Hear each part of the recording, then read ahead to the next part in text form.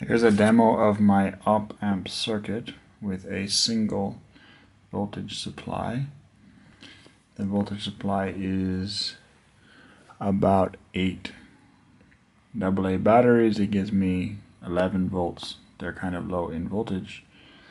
Now, have it set up with a voltage divider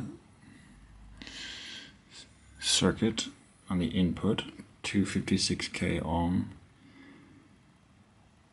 resistors and the resistor that goes down to ground has to be coupled with this capacitor which will allow it to zero it out.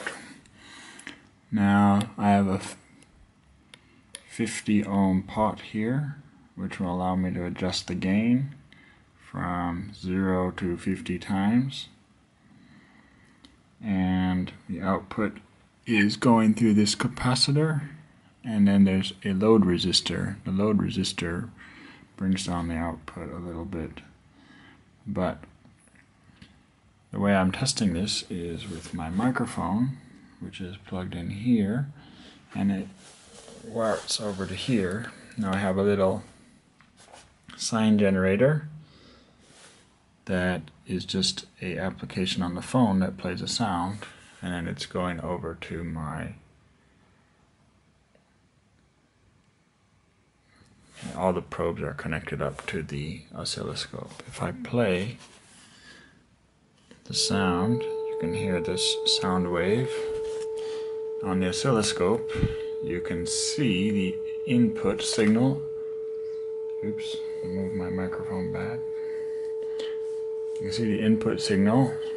It's about one division, which right here it shows one division is 0.1 volts. I can make it higher, 0.1 volts per division, so that's about 0.1 peak to peak. The output here, I have it, it's actually at 2 volts right now.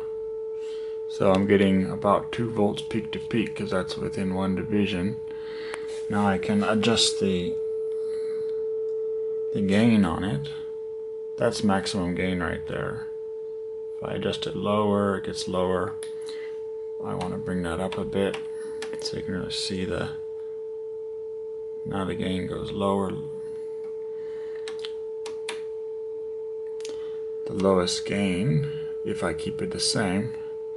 So this is zero gain and it's now both 0.1 volts peak to peak. 0.1, 0.1. Looks like it's working pretty well. My sine wave stopped. Now I can just adjust the gain up and down and it works perfect.